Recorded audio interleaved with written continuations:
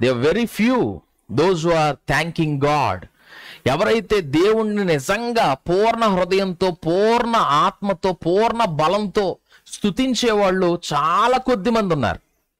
మేలులు పొందే వాళ్ళు ఎక్కువ మంది ఉన్నారు.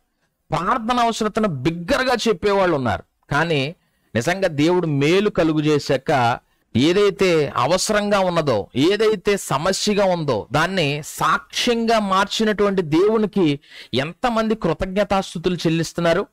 ఎంతమంది నిజంగా దేవుడి దగ్గర నుంచి మేలు పొందుకొని ఉండి కూడా దేవునికి కృతజ్ఞత అర్పణలు ఎవరు చెల్లించగలుగుతున్నారు?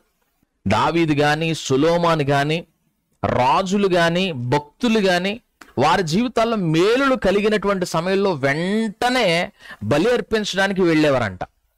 ఎందుకనంటే దేవునికి కృతజ్ఞత చెల్లించాలి. దేవుడు ఎంత గొప్ప మేలు చేశాడు. కనీసం మనం ఇదన్నా చేయలేమా?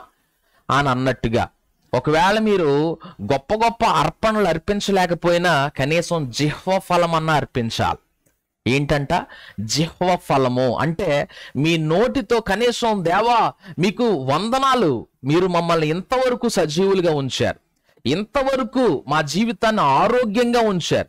ఇంతవరకు మేము ఎవరి దగ్గరికి భిక్షాటన చేయకుండా మీరు మమ్మల్ని నేటికి అన్న వస్త్రాలు లోటు లేకుండా చేస్తూ ఉన్నారు.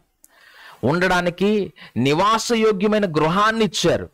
ప్రతి విధమైనటువంటి అవసరాన్ని ప్రతి విధమైన ఈవిని మీరు మా జీవితానికి అనుగ్రహిస్తూ ఉన్నారు. You are providing everything to మీరు మాకు అన్నిటినీ సమకూరుస్తా ఉన్నారు. సో మనం దేవుణ్ణి ఎంత స్థుతించవలసిన వారమై ఉన్నాం? దేవునికి మనం ఎంత కృతజ్ఞత చెల్లించవలసిన వారమై ఉన్నా? ఎల్లవేళలా మన నోటితో దేవునికి కృతజ్ఞతాస్థుతులు చెల్లించాలి. ఒకవేళ మీ దగ్గర స్తోమత ఉంటే దేవునికి కృతజ్ఞత అర్పణలు చెల్లించగలగాలి. అర్పణ అర్పించాలి. దేవుని వాక్యంలో అపోసులైన పౌలు గారు కూడా తెలియజేస్తారు. ఏమనంటే నేను మీ యొద్దకు వచ్చేటప్పటికి మీ దగ్గర చందా సిద్ధం చేసి ఉంచండి అని కూడా చెప్తాడు. ఏ ఎందుకోసం అని చెప్తాడు? డబ్బు ఇవ్వగలిగినటువంటి దైవజనుడు ఆయన? కాదు. వాళ్ళు దేవునికి ఇవ్వడం కూడా నేర్చుకోవడం అది చాలా ప్రాముఖ్యమైన విషయం. మరెన్నో వీడియోస్ కోసం మా ఛానల్ని సబ్స్క్రైబ్ చేసి ఏ ఒక్క వీడియోని మిస్ కాకుండా చూడాలంటే పక్కనే ఉన్న బెల్ ఐకాన్ని యాక్టివేట్ చేసుకోండి.